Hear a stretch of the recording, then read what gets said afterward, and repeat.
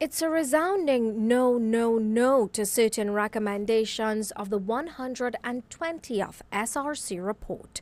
I do not believe the Prime Minister should get an increase at this time. I do not believe the President should get an increase at this time.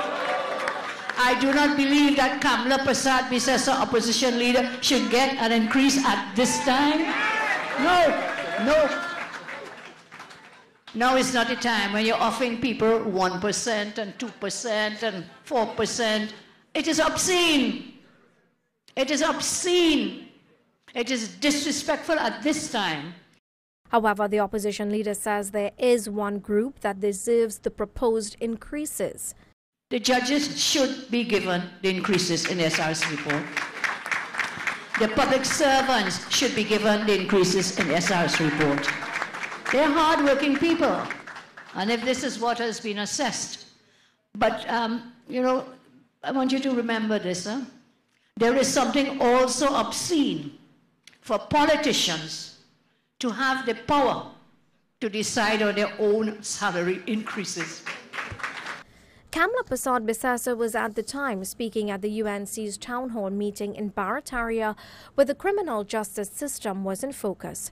Attorney at law Jagdev Singh notes that violent and serious crime is often committed by repeat offenders. He proposes that all offenders be outfitted with an electronic bracelet. Every time he commits a crime and he's not caught or he's released on bail, he is further emboldened to commit more crime.